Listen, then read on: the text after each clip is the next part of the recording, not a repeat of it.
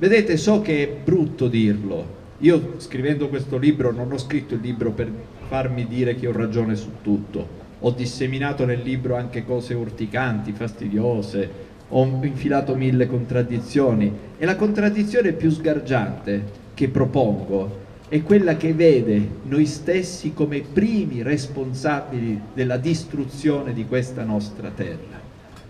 E questo a maggior ragione avendo a disposizione la bellezza e la potenza di questa terra che non è un museo, è futuro e dovremmo capirlo una volta per tutte. E questo passa attraverso la responsabilità degli imprenditori, voglio dirla pure brutta, passa anche attraverso la responsabilità dei ricchi. Forse solo i ricchi possono salvare questa terra, perché conviene a maggior ragione a loro renderla ancora più forte, ancora più proiettata nel futuro. Sono ormai i tempi adatti a poter fare tabula rasa di ciò che è stato e di cominciare a costruire in ragione di una ovvia necessità e si chiama futuro. Quando, se avrete voglia, leggerete il libro, in Balat troverete le esperienze di persone in carne e ossa che si prendono gli aerei da lontano e arrivano apposta, ognuno a Palermo, qualcuno a Modica, altri in altre realtà, dove di volta in volta individuando i luoghi capiscono che cosa ne può derivare in termini proprio di futuro, di impresa. A noi magari, io ve lo dico per esempio la mia esperienza, io guardo, guardo il mio paese e molto spesso vedo dei palazzi, delle chiese, delle strade, dei reticoli e dico potrebbe essere né più e nemmeno che Orvieto, potrebbe essere né più e nemmeno che Gubbio. E apposta faccio un esempio umbro per cercare di capire perché mai tutto quello che succede a Gubbio, quello che succede a Orvieto, non succede ad Agira. Perché mai in questo gioco di paradossi straordinari con la presenza dell'outlet Agira dopo Milano e al secondo posto c'è Abercrombie che ho trovato una cosa straordinaria abbiamo ancora una volta il rapporto bloccato con la modernità. Abbiamo questo passo vincolato rispetto a quello che dovrebbe essere la costruzione del futuro. E quindi Balat. E con Balat tante altre esperienze, anche quelle di molti che in Sicilia da imprenditori hanno provato e poi si sono ritrovati nell'unico colpo di scena finora disponibile, levare Cimano.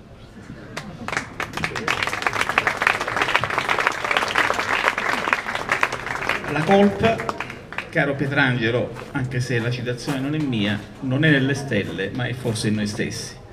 Potremmo riassumerla così, questa tua cavalcata. E però eh, una piccola contraddizione. Tu teorizzi giustamente il ritorno dello Stato in Sicilia, la presenza dello Stato in Sicilia e parli di un commissariamento e parli di un plenipotenziario.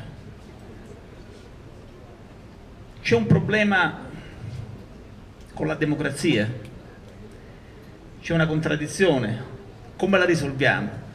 E, scusa, no, è un'altra cosa, e anche questa qua è una piccola provocazione che ti faccio. C'è eh, un bellissimo passaggio del tuo libro dedicato al MUOS. Voi sapete cos'è il MUOS, è il sistema di radar con cui il, eh, il, uh, il sistema strategico americano controlla, uh, controlla le comunicazioni, controlla le, tutte le, le, le, operazioni strategiche eh, della, degli Stati Uniti e della Nato e il MUOS è in Sicilia vicino a Niscemi.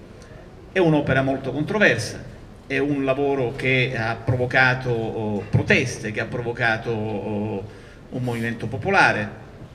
E eh, è un lavoro che ha provocato anche, che ha messo, diciamo, che ha fatto uscire, ha fatto, eh, ha, ha, ha tirato il governatore Crocetta in una delle sue figure da pappagone è andato lì, ha promesso fulmini e saette contro il MUOS, dopodiché è arrivato a Palazzo, a, a, a Palazzo d'Orleano, è arrivato a, a Palermo all'Assemblea regionale dicendo ha chiamato Obama, ha chiamato Obama, in realtà no, Obama non aveva chiamato lui, aveva chiamato il, il Presidente del Consiglio, Enrico Letta dell'epoca, il MUOS si deve fare. Ora, se posso dire, un plenipotenziario che si rispetti viene in Sicilia e fa il, MUDU, il MUOS, perché il MUOS fa parte degli obblighi di eh, eh, alleanza internazionale, degli obblighi internazionali del Paese e nel momento in cui un plenipotenziario arriva in Sicilia deve ovviamente, eh, eh, prima ancora, cioè è uno che ha in testa quali sono gli interessi eh, generali del Paese e se quello è un impegno internazionale preso dal nostro Paese ne va della sua collocazione, il MUOS da fare. Allora, sono contraddizioni un po' eh, così messe alla rinfusa, però era questa un po' la cosa su cui ti volevo provocare per ultimo. E io faccio appello all'odio atavico che abbiamo verso la verità. E facendo appello alla verità dico una cosa su cui sono sicuro tutti siamo d'accordo. E cioè che è impossibile governare la Sicilia col ricatto del consenso è inimmaginabile perché se togli Crocetta e ci metti un altro, è inevitabile che quell'altro risulterà peggio di Crocetta.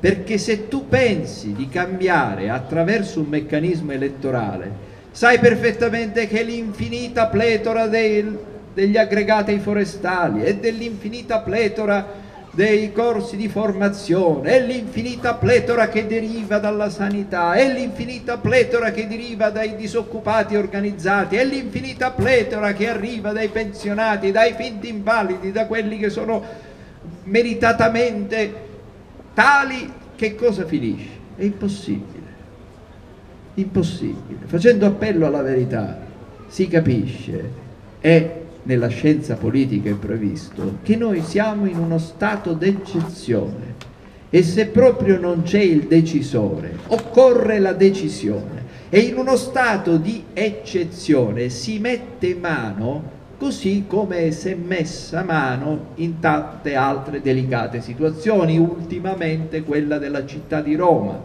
dove lì sono perfino combinati peggio con Marino che è dieci volte peggio Crocetta e noi che viviamo a Roma sappiamo perfettamente che è imbarazzante la situazione della capitale d'Italia. E sappiamo perfettamente facendo i giornalisti che Matteo Renzi ha comunque cominciato a muoversi e probabilmente non mangerà il panettone marino, lo toglieranno perché non è concepibile che Roma possa essere amministrata da un personaggio simile. Stessa cosa in Sicilia, non tanto per il signor Crocetta, ma per la situazione in sé.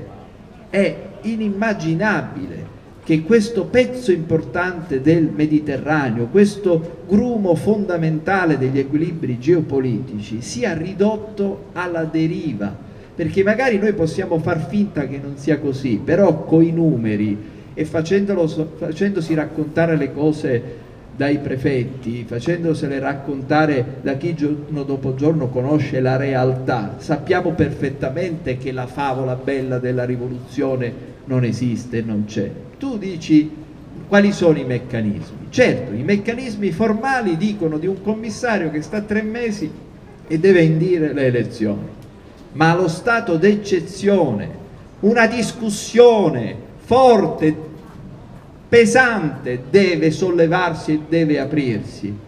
E siccome io non faccio altro che incontrare la gente, io una pulce ve la voglio lasciare nell'orecchio, e cioè che se tutti noi, adottando ognuno di noi un deputato regionale, si cominciasse a reclamare, a chiedere, a suggerire le dimissioni di tutti i deputati regionali, già sarebbe un colpo magnifico perché forse non potremo avere il commissario, ma un trauma, un trauma definitivo che svegli, il torpore in cui siamo precipitati è necessario, altrimenti altro che tutto cambia per non cambiare mai, cambiando in peggio si chiude bottega. E a Sicilia finisce come si diceva una volta nelle battaglie saracene, Cupiglio un turco e usò, sarà adattato ai siciliani, Cupiglio un siciliano e usò. Noi ringraziamo Pietrangelo Buttafuoco per l'intelligenza, la franchezza anche brutale e soprattutto la passione con cui questa sera ci ha dato molto materiale su cui riflettere. Io la storia appari un ria, per favore famiglia un vera.